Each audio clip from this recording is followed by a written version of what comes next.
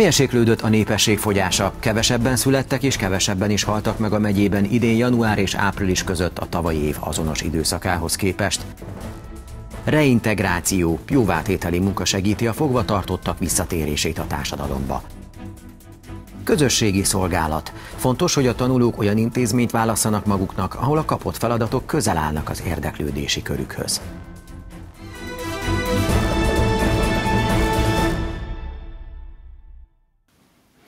Mérséklődött ugyan a nagysága, de továbbra is csökkent Szabolcs-Szatmár-Bereg megye lakossága 2018 első negyedévében. A Kölcsei Televízió iradóját látják. Köszöntöm Önöket! Kevesebben születtek és kevesebben is haltak meg a megyében idén január és április között a tavalyi év azonos időszakához képest. A csökkenés ellenére Szabolcs-Szatmár-Bereg megye a harmadik legnépesebb megye az országban. 1680 fővel, azaz 8,1%-kal csökkent Magyarország népességének természetes fogyása. Ez azt jelenti, hogy valamennyire mérséklődött idén január és április között az évek óta tartó negatív népességcsökkenési folyamat. Ugyanakkor 2018 első negyedévében kevesebben születtek és haltak meg, mint tavaly ugyanebben az időszakban. Magyarországon az előzetes adatok alapján 2018. január-áprilisában a születések száma 1,7%-kal, a halálozásoké pedig 4,4%-kal volt kevesebb, mint 2017 azonos időszakában. Számszerűen ez 28.476 újszülöttet és 47.412 elhunytat jelentett. A megyében ugyan mérséklődött a népesség természetes fogyása, de még így is csökkent a lakosság száma. Szabolcs-Szatmár megyében 1376 gyermek született, ez 5,4%-kal volt kevesebb az előző év azonos időszakához képest, még ugyanezen idő alatt 1898-an hunytak el, ami egy 4%-os csökkenést jelentett a tavalyi évhez képest. A születések és halálozások számának eredményeként 522 fővel csökkent a megyen népessége. Ez nagyságrendileg hasonló volt az előző évi értékhez. Az elvándorlás is jelentősen befolyásolja a megye népességét. Belföldi vándorlás tekintetében a tavalyi adatok alapján több mint 8%-os negatív egyenleggel zárt a megye, ami azt jelenti, hogy többen költöztek el a megyéből, mint ahányan itt telepettek le. A külföldi vándorlási adatok tekintetében már pozitív volt az egyenleg 2017-ben, azaz a külföldről a megyébe költözők száma meghaladta az innen külföldre vándorlók számát, ami a határok közelségének is köszönhető. A csökkenő népesség ellenére a főváros nem számítva Szabolcs-Szatmár-Bereg megye, Pest és Borsod-Abaúj-Zemplén megye után a harmadik legnépesebb megye 2018. január 1-én 558.361 fő volt a lakosok száma. Egyre több fogvatartott vállal önkéntes munkát a börtönökben. A jóvátételi munka lényege, hogy szabadulásuk után a rabok könnyebben beilleszkedjenek majd a társadalomba, illetve hogy kompenzálják korábban elkövetett bűncselekményeiket. A legtöbb esetben idősek otthonában, kórházakban dolgozhatnak, illetve köztereket takarítanak, és mezőgazdasági területeken segítkeznek. Ezen az esős októberi napon például paprikát szedtek a fogvatartottak napkoron. Ezt a területet a tulajdonos ajánlotta fel a munkára. Nyíregyházáról és Tiszalökről is érkeztek ide rabok. Ezen a két településen működik ugyanis büntetés végrehajtási intézet Szabolcs megyében. Ők azok, akik a biztonsági kockázatfelmérés alapján a börtön falain kívül is végezhetnek jóvátételi munkát. Minden fogvatartott más és más, tehát mindenki egyedi egyébként. Egyénésítés működik nálunk a büntetésvégrehajtási szervezetnél, tehát mi mindent meg kell, hogy vizsgáljunk. Az által elkövetett, korábban elkövetett bűncselekmény súlyát, fajtáját, minőségét, azt, hogy mennyi büntet, milyen büntetést kapott és miért tölti a szabadságvesztés büntetését, illetve milyen a magaviselete bent a börtönben, korábban jelentkezette már, korábban vette részt ilyen munkában, illetve ilyen jóvátételi programban, bocsánat, illetve alapban ő bent a börtönben tanul-e, jár oktatásra, illetve dolgozik-e a börtönben. Bárki bármennyi idő után jelentkezhet, és ahogy mondtam is, egyre többen jelentkeznek. Itt van a lényege ennek a biztonsági kockázatnak, illetve biztonsági kockázat felmérésnek. Tehát aki még most került be, és hosszabb időt kell bent tölteni, illetve olyan súlyú bűncselekmény követett el, őt biztos, hogy a börtön falain kívüli jóvátételi munkára nem fogjuk kivinni, kiengedni, azonban bent a börtön falain belül természetesen ugyanúgy végezheti ezeket a programokat. A jóvátételi program évről évre egyre népszerűbb. Országos szinten van, hogy egy-egy program alkalmával 2500-3000 fogvatartott is részt vesz a munkában. Ez főleg az ünnepeken, mint például anyák napján vagy karácsonykor jellemző.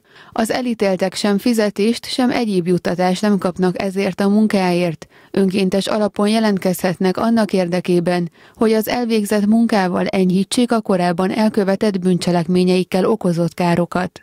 Orosz Zoltán azt is hozzátette, hogy ennek nem feltétlenül a korábbi áldozatok és hozzátartozóik látják az előnyét, hanem egy sokkal nagyobb réteg, a társadalmi közeg. Ezzel is azt szeretnék mutatni, hogy szabadulásukat követően újra be tudnak majd illeszkedni a társadalomba. Ez a reintegráció egyébként az intézmény célja is, ezért indították el a jóvátételi programot. A fogvatartottak a börtönfalain kívül számos munkában segíthetnek. Jóvátételi program keretében általában a településeknek a, a terei, a parkokat teszik szebbé, színesebbé, virágokat ültetnek, megtisztítják a szeméttől az erdőt, az erdőrészeket, iskolákba, óvodákba látogatnak el, gyermekotthonokba, idősek otthonába mennek, ahol, ahol nem nem csak, nem csak segítenek és tényleg szebbé teszik a környezetet, hanem nagyon sok esetben a saját maguk által tanult, betanult színdarabokat, előadásokat, énekeket adják elő. Valóban Szabolcs-Szatmár-Bereg megyében és Nyíregyházán is több esetben temetőkben voltak, ahol ilyen jóvátételi programot hajtottak végre. Vadasparkban voltak, illetve ugyanúgy gyermek otthonba is ellátogattak már, illetve kórházban is megfordultak a fogvatartottak. A visszajelzések minden esetben pozitívak, és egyre jellemzőbb, hogy egy-egy helyre többször is visszatérnek a fogvatartottak, illetve egyre többen kérik is a büntetés végrehajtási intézetben élők segítségét, közölte Orosz Zoltán.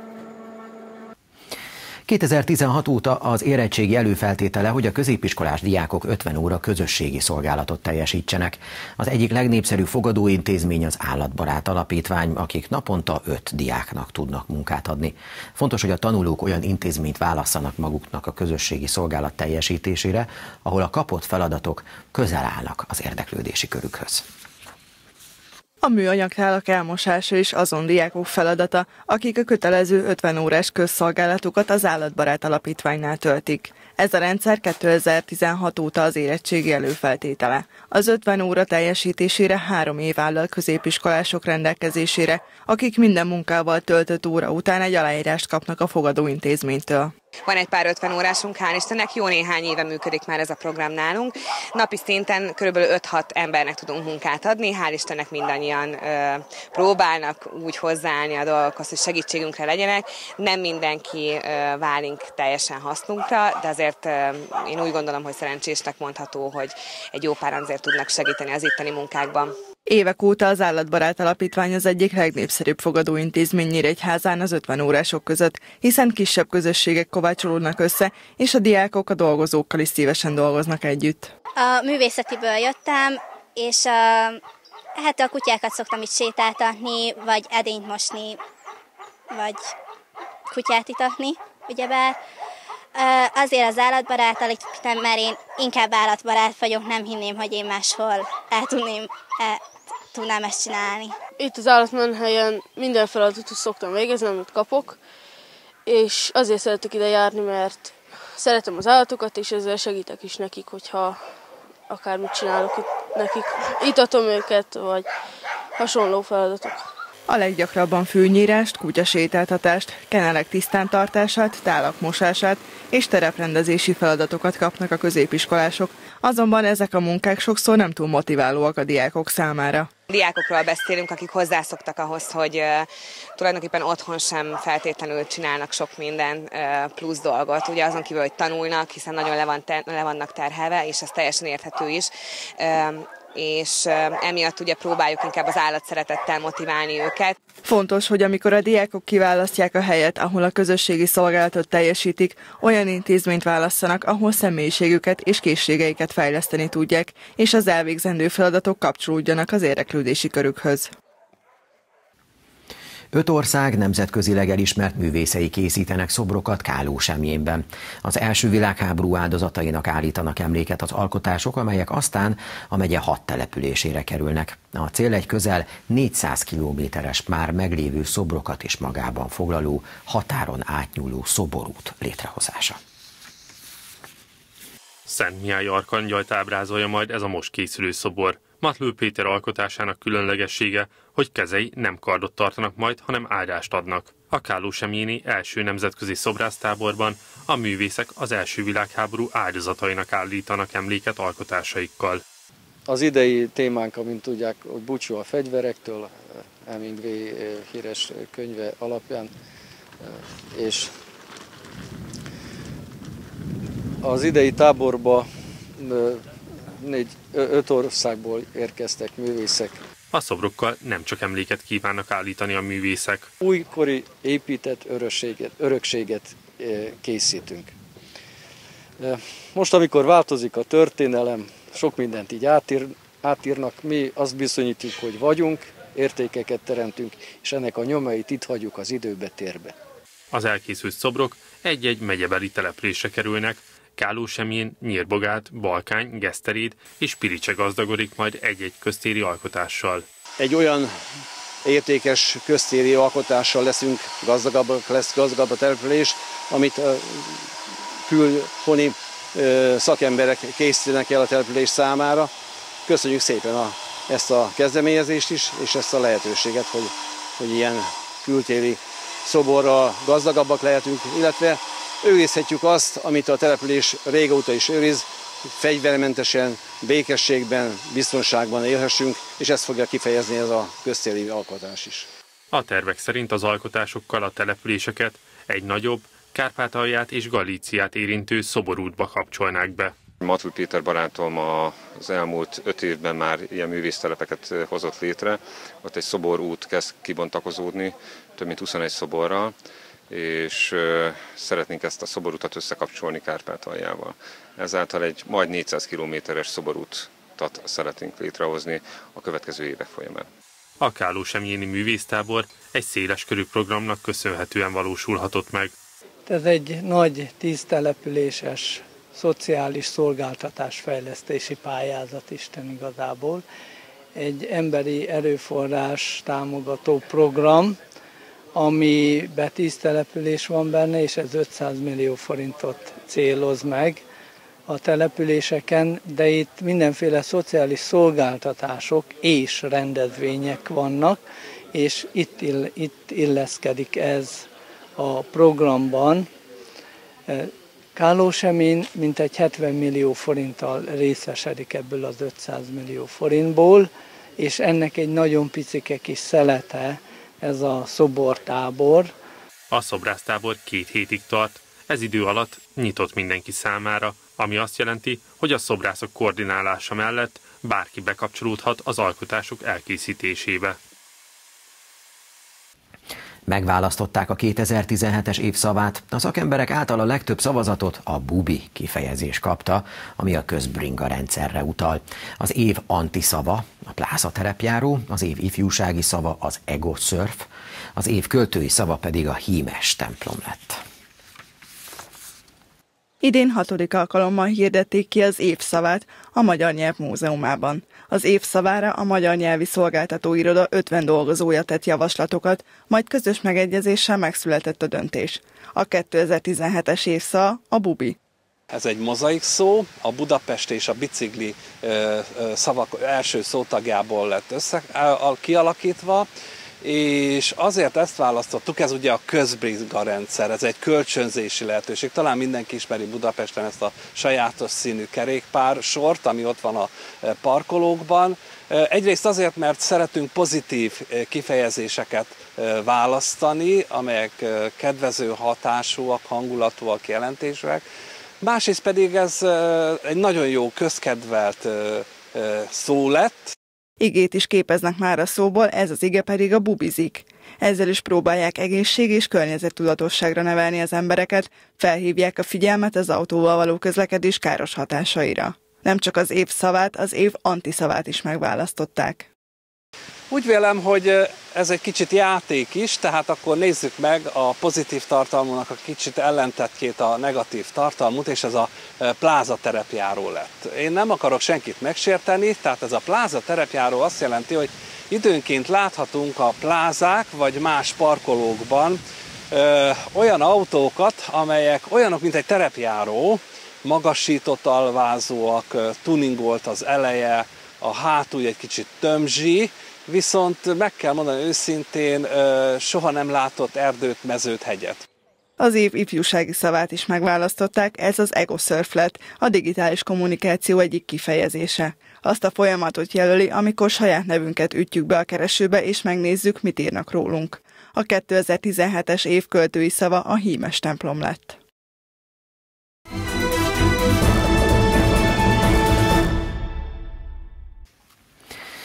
A tíz távozó futbalista helyére tíz új külföldi játékos érkezett az NB1-es kisvárdai futballcsapathoz. A friss szerzeményeket a hagyományos szurkolói ankéton mutatták be a klub szimpatizásainak. A csapat szombaton idegenben a címvédő Molvidi FC ellen kezdi a bajnokságot. Az újonc a legjobb nyolc között szeretne végezni az élvonalban. A megszokott helyszínen a Besenyei Gimnázium dísztermében tartotta csütörtök este hagyományos szurkolói ankítját a kisvárdai futballcsapat. Újdonság volt viszont az, hogy a klub történetében először az NB1-es rajtelőt ismerhették meg az új játékosokat, és hallgathatták meg a terveket a Várda szimpatizánsai. A felgyújtás kiharcoló csapatból tíz játékos távozott, helyükre tizen érkeztek valamennyien külföldről. Felipe Ventura, Mihály Minca, Pavlo Dukjáncsuk, Temur Párcvania, Teodoros Berrios, Román Karaszjuk, Anderson Pico, Sassa, Vuk Mitosevic és Anton Schneider át is vette a mezét a csapatkapitány Lukasztól. Az NB1-ben egyszerre tíz légő szerepelhet a pályán, közülük öt lehet az Európai Unión kívüli ország állampolgára. A játékos keret értékét tekintve a Kisvárda negyedik az NB1-es mezőnyben, a szerepléssel szembeni elvárások azonban ennél szerényebbek. Véleményem szerint a nyolcadik az nem irreális elvárás. A támadósorban, ha sikerülne még vagy a sérültjeinek, a Horváth Zolinak, illetve a Szaszának, aki még gyengébb jó állapotba kerülni, meg a Goszinak, akkor meg lenne a megfelelő variációs lehetőség, akkor talán nagyobb az esélyünk, de most is meg vagyunk, én bizom benne, hogy hogy nem a kiesés veszélye fog minket végig fenyegetni, ha bár mint tavaly is látjuk 6-8 csapat ott volt azon a, azon a határon, amely egyik, mérkő, egyik fordulóra, másikra akár pozíciót és cserét és a kieső helyre kerülhetett. Ugye nem is az élcsapatok közé, mert azért az első kettő, első három talán az, az, az játékos állomány tekintetében kilóg. Ugyanakkor itt nem csak az a lényeg, hogy most bemaradunk, vagy középmezőnybe helyezkedünk el, természetesen a hosszú távú célok miatt ez nagyon fontos, hanem hogy egy olyan, olyan brandet, egy olyan klubot tudjunk majd létrehozni, amit már eddig is helyek közel sikerült, ami tartósan a magyar futball térképére helyezheti a kisvárát. A csapatkapitány Lukás szerint kell még némi idő ahhoz, hogy a több futballkultúrából érkezett játékosokból összeérjen egy ütőképes együttes. Nagyon sok változás volt a keretben, tíz játékos távozott, tíz új játékos jött.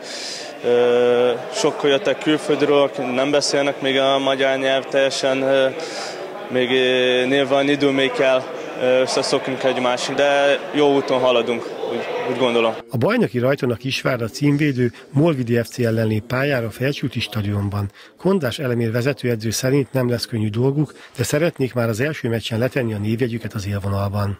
Győzelemben lennék elégedett, abszolút, de, de nyilván ezt tudjuk, hogy nagyon nehéz, és ugye négy olyan csapattal játszunk, aki, a, aki most nemzetközi kupába játszik, hát tavaly ők voltak az első négy helyezett és, és az egy kicsit nehezít is a dolgunkat, hogy azért majdnem mindegyik mérkőzést idegenbe játsszuk de azt gondolom, hogy a pályán nekünk meg kell próbálni olyan fegyelmezetten egy olyan teljesítmény nyújtani, amelyikkel, amelyikkel sikeresek tudunk lenni.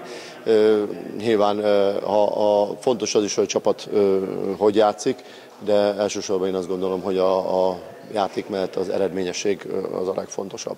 A forduló további párosítása a következő Puskás Akadémia Debrecen, Budapest Honvéd Szombathely, Mezőkövesd Paks, Ferencváros Diósgyőr és Újpest MTK Budapest. Kiesett az Umagi ATP 250-es salakpályás torna második fordulójában Fucsovics Márton. A világranglista 51. helyén álló nyíregyházi teniszező hiába nyerte meg az első szettet 7-5-re a 188. argentin Trungelliti ellen. A következő két játszma 6-4 és 6-2-re a dél-amerikai játékos élet, aki így közel két és fél órás meccs után tovább jutott a következő fordulóba. Most pedig kiradunk végén nézzük legfontosabb híreinket még egyszer, röviden. Mérséklődött ugyan, de továbbra is csökkent szabolcs már bereg megye lakossága 2018 első negyedévében. Kevesebben születtek és kevesebben is haltak meg a megyében idén január és április között a tavalyi év azonos időszakához képest. A csökkenés ellenére szabolcs már bereg megye a harmadik legnépesebb megye az országban. Nem csak a társadalom, hanem a fogvatartottak számára is hasznos a jóvátételi program. Ennek keretein belül a börtönben vagy azon kívül is vállalhatnak önkéntes munkát a rabok, jellemzően települések tereit tisztítják, mezőgazdasági munkákat végeznek, vagy kórházakban, idősek otthonában segítkeznek. A jelentkezés önkéntes, fizetést vagy más juttatást nem kapnak érte a fogvatartottak. 2016 óta az érettségi előfeltétele, hogy a középiskolás diákok 50 óra közösségi szolgálatot teljesítsenek. Az egyik legnépszerűbb fogadóintézmény az Állatbarát Alapítvány, akik naponta 5 diáknak tudnak munkát adni. Fontos, hogy a tanulók olyan intézményt válasszanak maguknak a közösségi szolgálat teljesítésére, ahol a kapott feladatok közel állnak az érdeklődési körükhöz.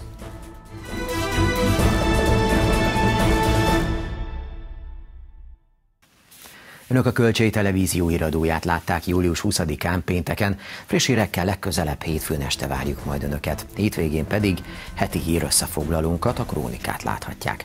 Tudósításainkat internetes oldalunkon is elérik. Én kollégám nevében is köszönöm figyelmüket. Szép estét!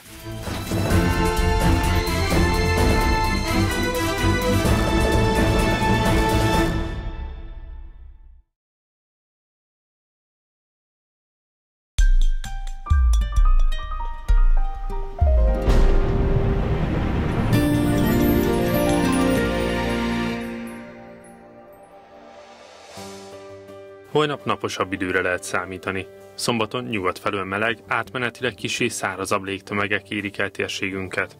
Az esti órákban csökken a felhőzet, és éjszaka gyengén felhős lesz az ég. Csapadék nem valószínű, gyenge vagy mérsékelt marad a légmozgás. Reggelre általában 17 fokig csökken a hőmérséklet. Holnap napközben gomoly felhős, de jellemzően napos idő várható.